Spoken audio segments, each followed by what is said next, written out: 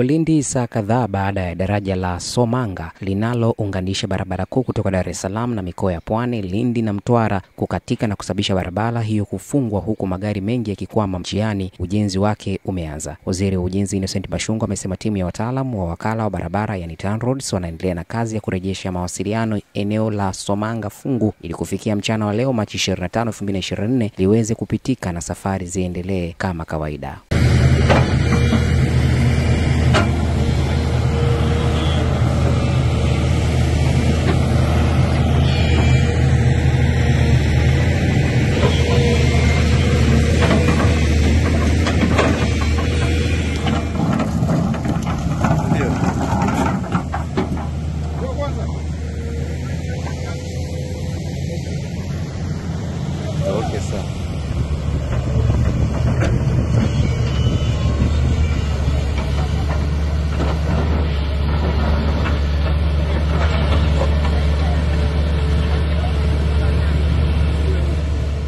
Mawe tumesha stockpile ya kutosha e, ambayo almost tukianza kazi ni muda mfupi watu wanaanza kupita.